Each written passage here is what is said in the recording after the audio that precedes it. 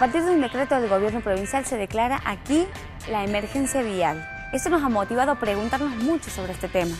Sí, hemos convocado a especialistas de dos ramas distintas, uno de la sociología y otro desde la ingeniería vial, a que nos comenten sobre este tema. He tenido la oportunidad de entrevistarlos y bueno, y sacarme muchas dudas. Así que vamos a ver la nota sobre la emergencia vial en Santiago del Estero.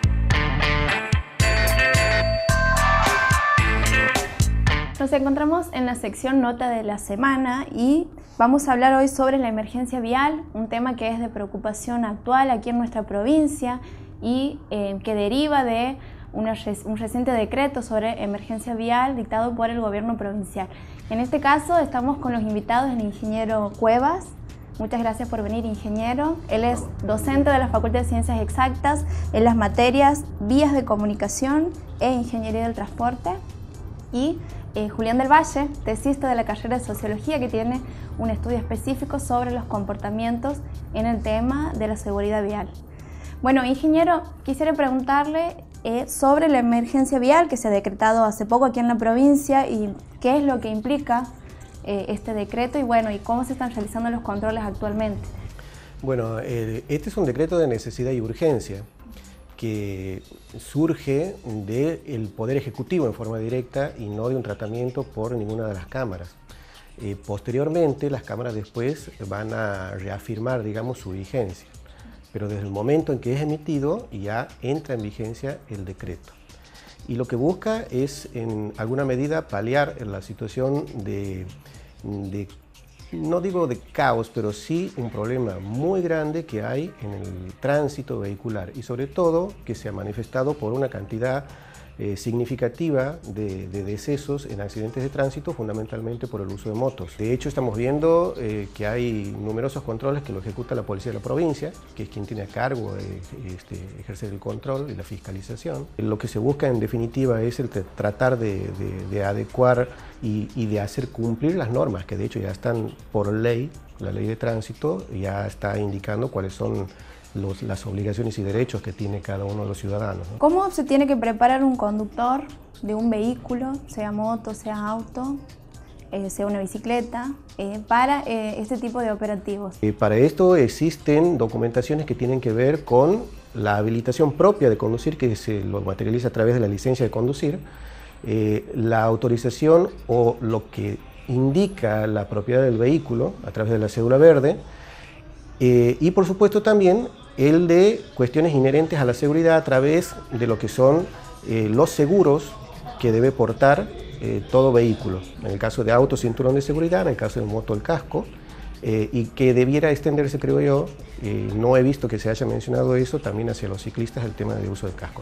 Julián, coméntanos desde el tema de, las prácticas del usuario de la vía pública, ¿a, qué, ¿a qué conclusiones has llegado con tu estudio? Bueno, desde el estudio del sentido común, de las prácticas, esto es lo que se denomina representaciones también, es, bueno, el problema eh, transversa, cruza a todas las clases sociales.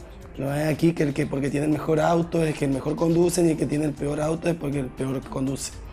Eh, bueno, las prácticas aquí, considerando a, una, la ciudad, que es pequeña, una idiosincrasia particular, eh, suceden prácticas donde uno no, los conductores o los usuarios de la vía pública en sentido estricto, digamos, no están acostumbrados a, determinados dispositivos que posee, que posee la vía pública, sea el semáforo, sea la cebra, el, el paso de cebra para los peatones, tanto con peatones, conductores, pasajeros, todos delindan la, la, responsabilidad de uno al otro. O sea, yo, yo conduzco bien, pero es el otro el que conduce mal. No asumen la responsabilidad. No asumen la responsabilidad que que se puede decir es compartida, porque en realidad si, si yo como conductor conduzco mal, yo corro el riesgo de, de accidentarme o de causar un daño a otro. Los comportamientos con la idiosincrasia son relativamente de, pueblo, según uno con el dispositivo del semáforo piensa que, bueno,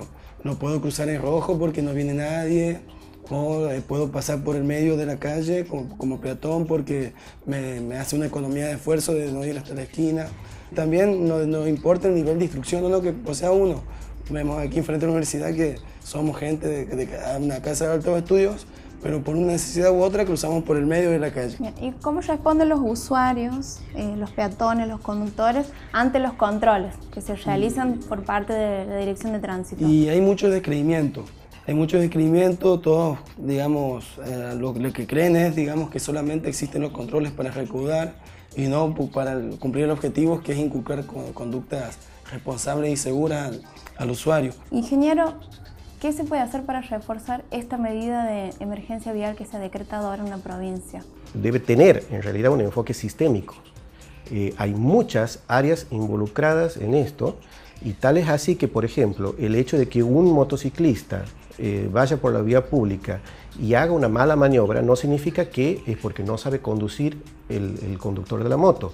Muchas veces suele suceder que hay otros elementos anexos, como por ejemplo un bache, que hace que cambie su trayectoria y que pueda ocasionar un accidente. Otro elemento en el caso de las ciudades, aquí lo vemos, el tema de semaforización. Muchas veces uno cuando toma algún tipo de decisiones lo toma pensando en el vehículo, pero en realidad son muchos modos de transporte que hacen uso de la vía pública. Incluso el caminar es un modo de transporte. Entonces, para cada área hay un tipo de situación y creo que hay que atacar todos los problemas en forma simultánea y no solamente un ingeniero, lo tiene que hacer un sociólogo, un antropólogo. Bueno, y para cerrar el tema, Julián, te hago una última pregunta. ¿Por qué crees que las, las personas no respetan los controles estos de seguridad vial? Se juntan muchos puntos de vista. Aquí, por ejemplo, tenemos el transporte público en este tiempo que es de, escolaridad, un transporte público a precios elevados, con bajos ingresos de la población y un recurso estratégico que tiene de llevar en motos a la cantidad de hijos que tenga en un solo viaje para para ahorrar este, este gasto. A su vez también no existe la posibilidad de que nadie te sancione, ni, ni, que vos permitas que alguien te sancione porque estacionaste mal. Julián, sobre el tema del crecimiento urbano, que lo habíamos hablado antes de, de, salir por cámara. La ciudad ha crecido de manera casi exponencial en estos últimos 10, 15 años. Hubo mucha migración de, digamos, las zonas rurales a la ciudad hubo mucho, bueno, el evidente crecimiento del parque automotor, en donde, por ejemplo, yo, uno puede conducir como antes conducían en el pueblo, en su ciudad donde antes vivía, una ciudad más pequeña o más chica como pueblo, y viene aquí o venimos aquí, nos trasladamos de la misma manera, circulamos de la misma manera como nos trasladamos en el, lugar donde vivíamos antes, cuando en realidad tenemos que adaptarnos a las nuevas condiciones. Nuestra ciudad es una ciudad típicamente centralizada en lo que es el, barrio centro y hay otros dos puntos satélites que están a la altura del Hospital Regional y el Hospital Independencia. Todo eso son polos de atracción de viajes. O sea que la gente que vive en la periferia se extiende los barrios hacia el norte o hacia el sur o hacia el, hacia el oeste, pero de todas formas el movimiento de toda esa gente es hacia esos polos de atracción de viajes. Entonces, ¿qué tenemos que prever nosotros? Tenemos que prever que las vías por las cuales llegue esa gente desde afuera o de los barrios periféricos a los sectores céntricos o polos de atracción de viajes estén correctamente funcionando. Bueno, muchísimas gracias a los dos por haber accedido a la entrevista. Ha sido un placer tenerlos aquí. Muchas gracias.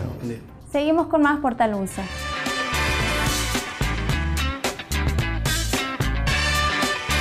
Hacemos una pausa. Quédate ahí.